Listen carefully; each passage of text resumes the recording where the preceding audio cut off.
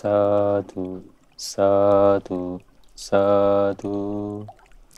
නමස්කාර වේවා බුදුරුවනට.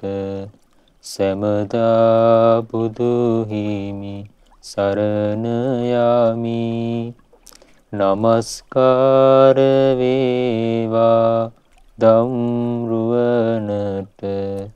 සැමදා සදහම් සරණ යමි නමස්කාර වේවා සංඝරුවනට සැමදා මහා සංඝ සරණ යමි නමස්කාර වේවා තුනුරුවනට. සැමදා තිසරණ සරණ යමි. සාදු සාදු සාදු. අපහට මේ උතුම් ධර්මය කියා දුන් අපගේ ගුරු දේවෝත්තම කල්යාණ මිත්‍ර පින්වත් ලොකු ස්වාමින් වහන්සේට අපගේ নমස්කාරය වේවා. සාදු සාදු සාදු. සියලු දෙනාටම තෙරුවන් සරණයි නමෝ බුද්ධාය ශ්‍රද්ධාවන්ත පින්නතුනි අද දවසේ පින් සිතුවිල්ල සදාම් දේශනාව සඳහා විකාශන දායකත්වයේ දරන්නේ ඉතාලියේ රෝම නගරයේ පදිංචි පින්වත් ඉන්දු මීවල මහත්මිය විසින්. පින්වත්නි අපේ ජීවිතේ තියෙන දෙයක් තමයි අපේ ජීවිතේ අපේ ක්‍රියාව ඉක්මනට පවට නැඹුරු වෙනවා. ඒ කියන්නේ පව් වැඩ කරන්න අපේ හිත ඉක්මනට පෙළඹෙනවා. හැබැයි ඊතරම් ඉක්මනට අපේ හිත පින් කරන්න ලෑස්ති නැහැ. අපි නොදැනුවත්වම අපි විශේෂයෙන් හිතුවේ නැතත් අපේ අතින් පව් රැස් වෙනවා. එක දවසක් භාගතුන් වහන්සේ මුණ ගැහෙන්න බ්‍රාහ්මණෙක් ආවා. ඒ බ්‍රාහ්මණය ඇහුවා භාගතුන් වහන්සේ යහපත ගැන ධර්මය කියනවා. භාගතුන් වහන්සේ යහපත ගැන විතරක් ධර්මය කියන අයහපත ගැන දන්නේ නැද්ද කියලා. ඉතින් ඒ වෙලාවේ භාගතුන් වහන්සේ වදාලා බ්‍රාහ්මණය මම යහපත ගැනත් දන්නවා අයහපත ගැනත් දන්නවා. ඊට පස්සේ බ්‍රාහ්මණය ඇහුවා ස්වාමීනි එහෙනම් අයහපත ගැන මට කියන්න. වහන්සේ හැමෝටම කියන්නේ යහපත ගැන. මට එනම් අයහපත ගැන කියන්න කිව්වා. ඉතින් ඒ වෙලාවේ භාගතුන් වහන්සේ වදාලා අයහපත ගැන අමුතුවෙන් කියන්න දෙයක් නැහැ. හොඳට ඉරේලි වැටෙනකන් නිදාගෙන දවල් වෙලා නැගිටින්න. ඊට පස්සේ මොන හරි කාලා බීලා තමන්ට හිතේන දෙයක් කරන්න පුළුවන්. තමන් කැමති නම් සත්තු මරන්න, කැමති නම් හොරකම් කරන්න, වැරදි කාම සේනය කරන්න, බොරු කියන්න. ඊට පස්සේ මත්පැන් මද්‍රව්‍ය පාවිච්චි කරලා විනෝදයෙන් ඉන්න. ඔබට ඒ විදිහට හිටියොත් ඔයාගේ ජීවිතේ රැස් වෙන යහපත තමයි කිව්වා.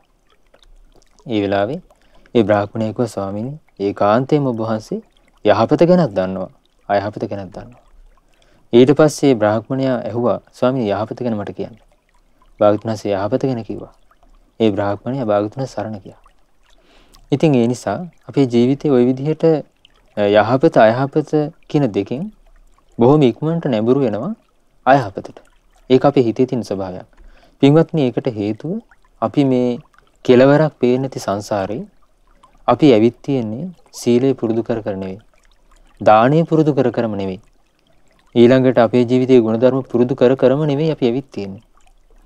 සතර අපායේ මහගෙදර කරගත්ත ජීවිතයක් අපිට තියෙනවා කියලා භාගතුන් සවදාලේ. සතර අපායේ මාගෙදර වගේ අපි යන්න නම් සතර අපායේ උපත පිණිස පවතින පාප කර්ම අපේ අතින් සිද්ධ වුණා. සංසාරේ බොහෝ වතාවක් අපේ අතින් මේ පාප කර්ම සිද්ධ වුණා. ඒ කරපු පාප කර්ම අපි ජීවිතේ පුරුද්දක් බවට පත් වෙලා. ඒ පුරුද්ද නිසා අපි ඉක්මනට නැඹුරු වෙන්නේ එවැනිම පාප කර්ම ආය ආය කරන්න. ඉතින් පින්වත්නි එවැනි ජීවිතයක් කුරුම වෙලා තියෙන අපිට භාගතුන් වහන්සේ වදාළේ ඒ රටාව වෙනස් කරගන්න විදියක්. භාගතුන් වහන්සේ වදාළේ පින් කරන්න, කුසල් වඩන්න. ඒ නිසා භාගතුන් වහන්සේගේ අනුශාසනාව ශ්‍රවණය කරන නුවණති අය කල්පනා කරන්න ඕන තමන්ගේ ජීවිතේ මේ විදිහට පවට නැඹුරු වීමක් තියෙන නිසා පවට වේගෙන් හිත ඇදිලා යන නිසා ඒ ස්වභාවය තේරුම් අරගෙන පිනට හිත නංවා ගන්න. ඒක ගොඩාක් අමාරු දෙයක්. ඒක විශේෂයෙන් හිතලා කරන්න ඕන දෙයක්. ඒක ඉබේ සිද්ධ වෙන්නේ නැහැ. ඉතින් පින්වත්නි, භාගතුන් වහන්සේ වදාලා ජීවිතේ මේ විදිහට පින් රැස් කරගන්න ජීවිතය යහපතට නගා ගන්න උපකාරී වෙන දේ තමයි භාගතුන් වහන්සේ සරණ ගිහිල්ලා භාගතුන් වහන්සේ වදාළ ධර්මයේ තුලින් යහපත අයහපත කියන්නේ මොකක්ද කියලා ඉස්සලා තේරුම් බේරුම් කරගන්න ඕනේ. ඊට පස්සේ යහපත් දේ කිරීම නිසා තමන්ගේ ජීවිතයේ සිද්ධ වෙන යහපත තමන්ට ලැබෙන ආනිසංස සිහි කරන්න. ඊළඟට පින්වත්නි අයහපත් දේවල් කිරීම නිසා තමන්ගේ ජීවිතයේ සිද්ධ වෙන පාඩුව සිහි කරන්න. එතකොට පින්වත්නි අපිට කැමැත්තක් ඇති වෙනවා. අපේ හිතේ වීරයක් ඇති වෙනවා යහපත් දේ කරන්න. අයහපත් දේ බැහැර වෙලා ඉන්න. භාගතුන්ස් වදාලා අභිත්තරේත කල්යාණී පාපා චිත්තං නිවාරේ. දන්දම්හි කරෝතු පුඤ්ඤං පාපස්මින් රමතිමං.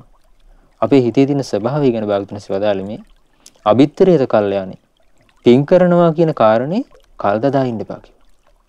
පින් කරනවා කියන එක ඕ හෙට කරන්නම් ඊළඟ මාසෙ කරන්නම් ඊළඟ අවුරුද්ද කරන්නම් ඊට පස්සෙම වයසට ගිහිල්ලා කරන්නම් ඒ විදිහට පින් කිරීම කියන එක කල් දාන්න එපා කිව්වා. අභිත්තරේත කල්යන් ඉක්මනට කරගන්න කිව්වා. අවස්ථාව ලැබුම ගමන් කරගන්න කිව්වා.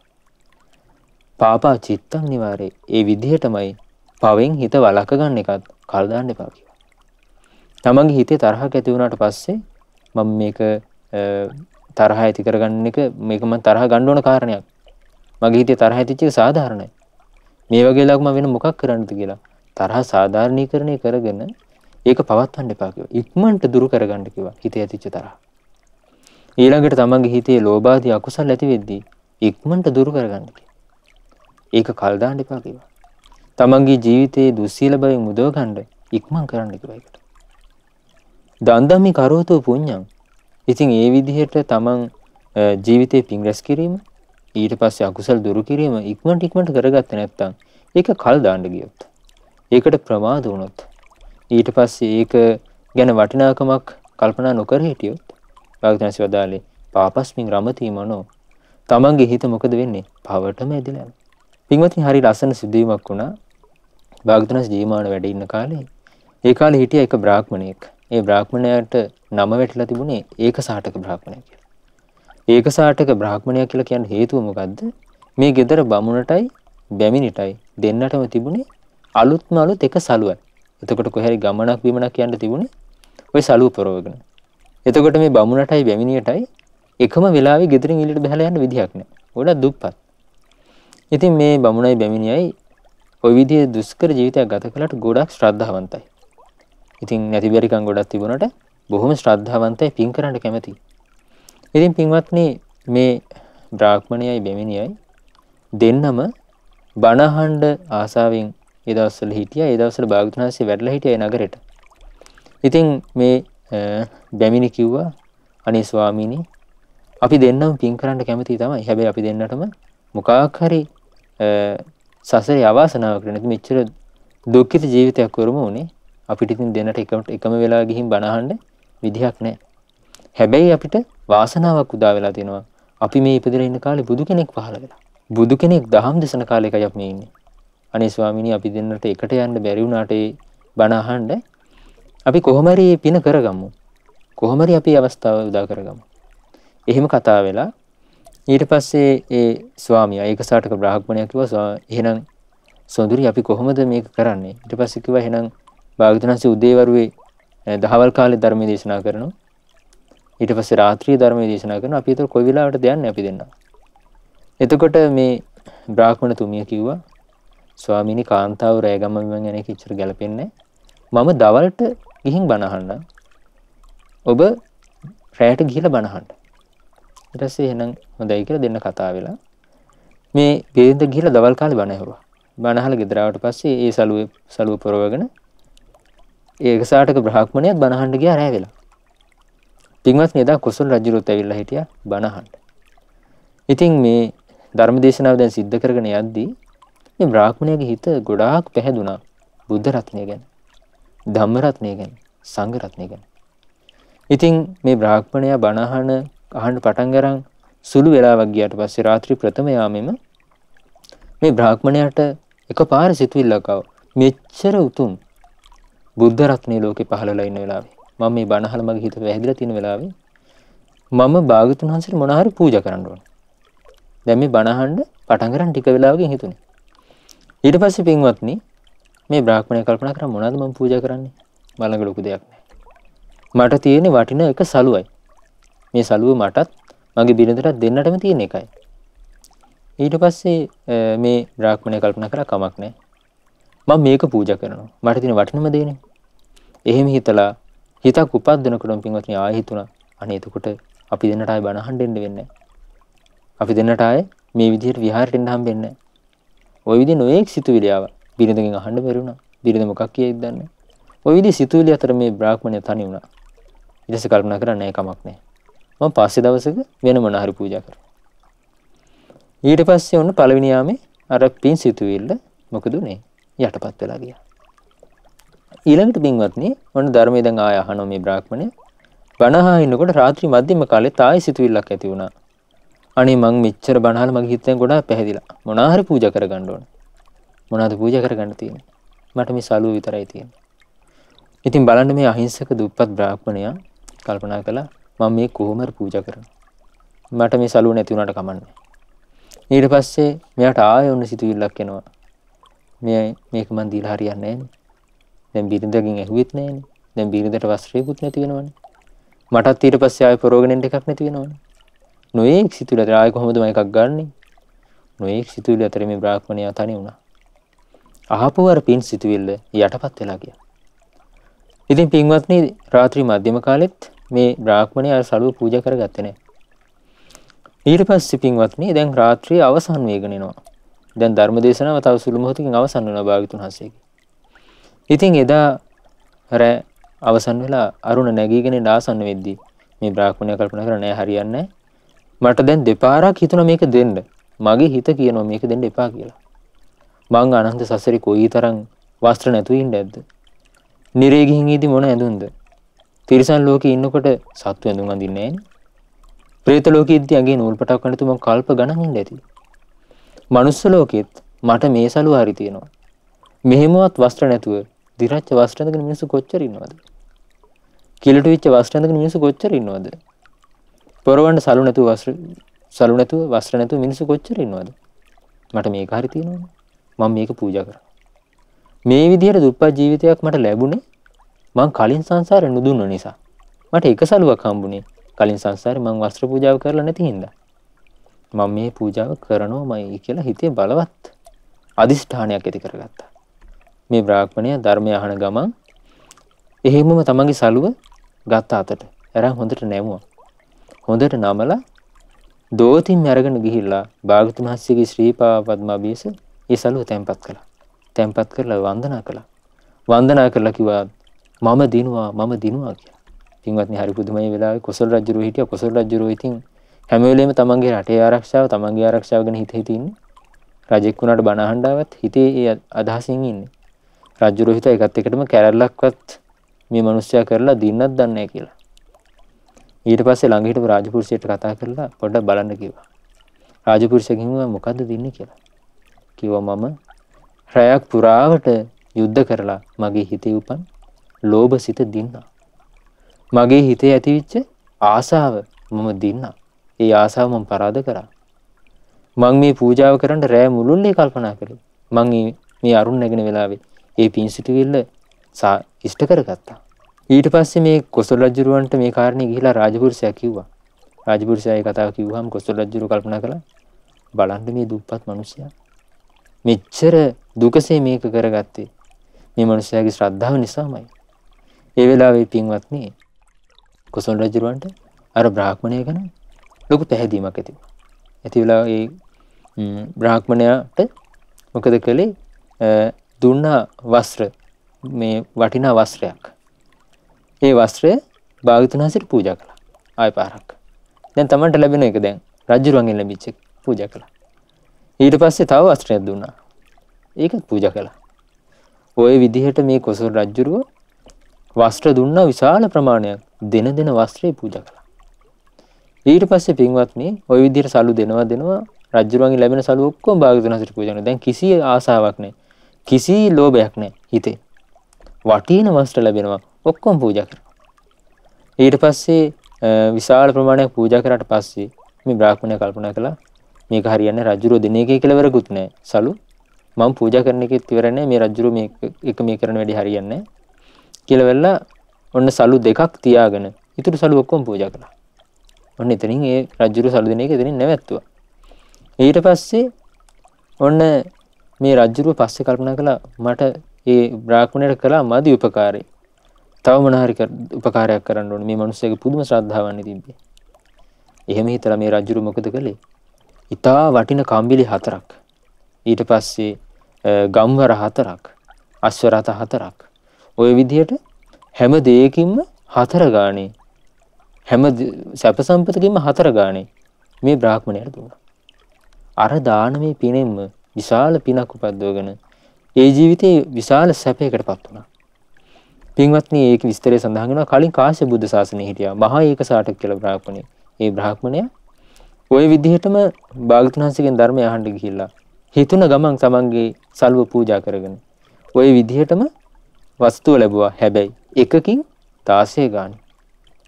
ওই විස්තරේ ගැන දේශනා කළ භාගතුන් වහන්සේ වදාලා මේ බ්‍රහ්මණයත් කලින් වගේම පළවෙනියටම පින් සිතුවිලි උපන් වෙලාවේ පින කළා නම් ඒ හැම දෙයකින්ම 16 ගාන ලැබෙනවා. හැබැයි තමන්ගේ ලෝභ සිතත් එක්ක යුද්ධ කරලා අවසාන මොහොතේ පූජා කරගත්තේ.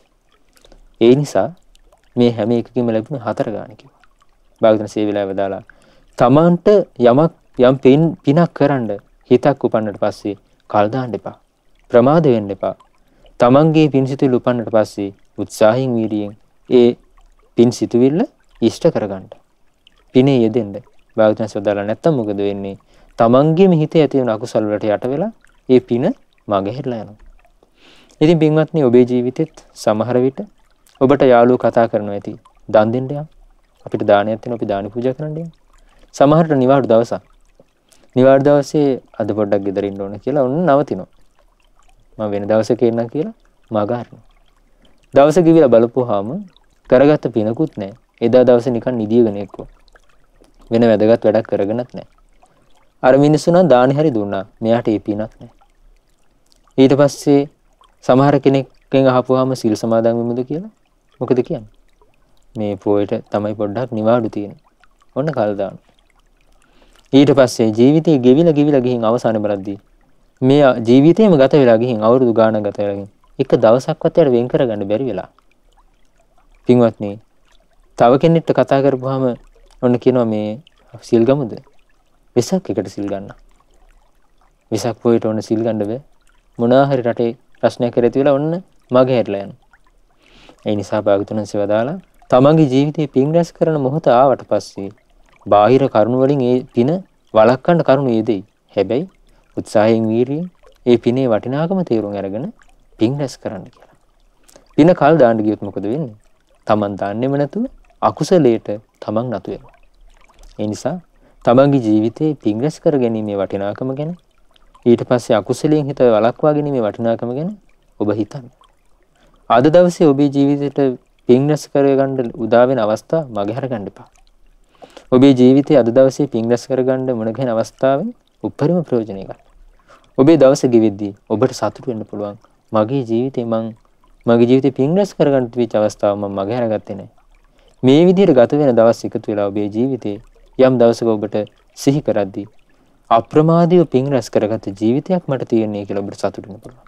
ඒ නිසා ඒ භාග්‍යවතුන් වහන්සේගේ උතුම් ධර්මයේ පිහිට කරගෙන උතුම් ශ්‍රී සද්ධර්මයේ පිහිට කරගෙන ශ්‍රාවක සංඝරත්නයේ පිහිටට අරගෙන සියලු දෙනාටම අද දවස පුරාවටම ඔබේ ජීවිතයේ පින් රැස් කරන්න ලැබෙන අවස්ථා මගේ හරගන්න නැතුව ජීවිතයට උදාාර පින්ඵල රැස් වෙන පින්කම් ජීවිතේ පුරවා ගන්නට සියලු ශක්තිය ධෛර්ය වාසනාව උදා වෙත්වා සාදු සාදු සාදු රැස්කල සියලුම පුණ්‍ය ධර්මයන් අපි පළමුවෙන් සියලු දෙවියන්ට අනුමෝදන් කරමු. සක්දෙවි දුන්න සතරවරම් දෙව් මහරජ දරුවන් ඇතුළු සදේවල වාසී සියලු දෙවියෝ මේ පින් අනුමෝදන් වෙත්වා. 38ක් වූ සෙන්පති දෙවරු මේ පින් අනුමෝදන් වෙත්වා. ඒ වගේම දායකත්වයේ දරන පින්වතුන්ගේ යහපත දියුණුව කැමති ඉෂ්ඨකාමී දෙවිවරු මේ පින් අනුමෝදන් වෙත්වා. පින් අනුමෝදන් වන සියලු දෙවිවරු දිව්‍ය සැප සම්පතින් වඩ වඩාත් සැපයටපත් වෙත්වා. දෙවියන්ගේ ධාර්මික ආරක්ෂාව රැකවරණේ දායකත්වයේ දරන පින්වත් සියලු දෙනාට සල්සා දෙත්වා.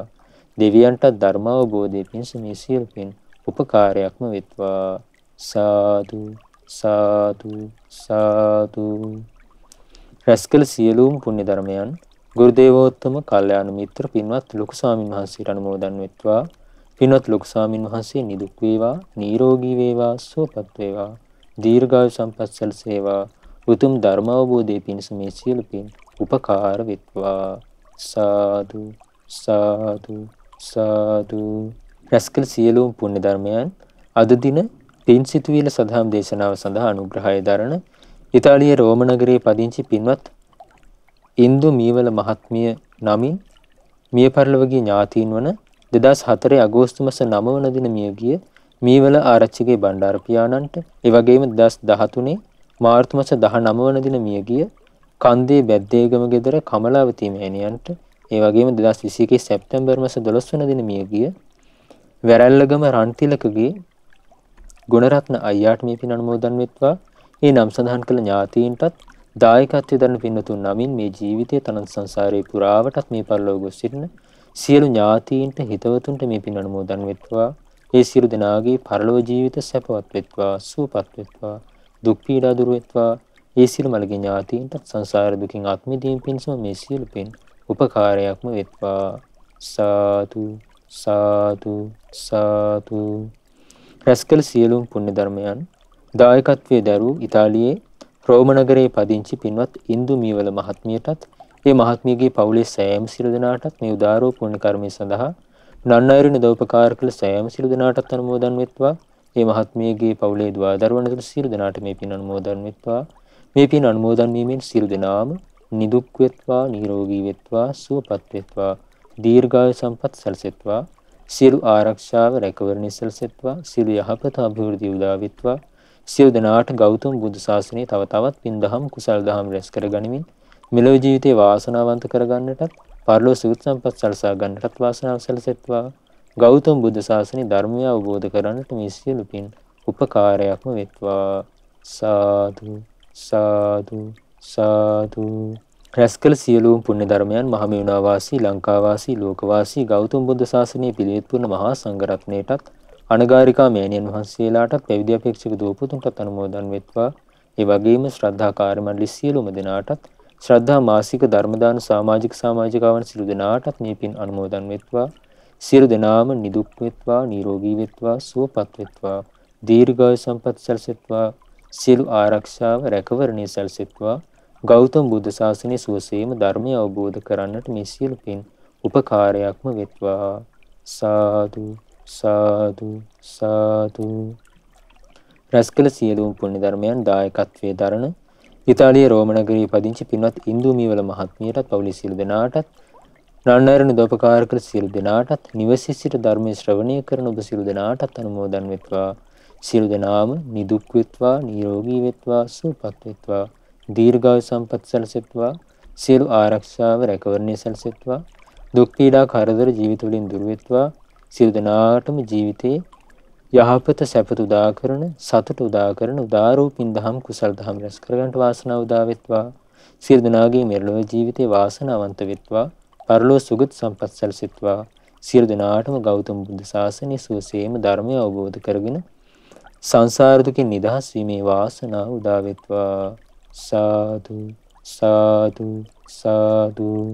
සියලු දෙනාටම තෙරුවන් සරණයි. නමෝ බුද්ධාය.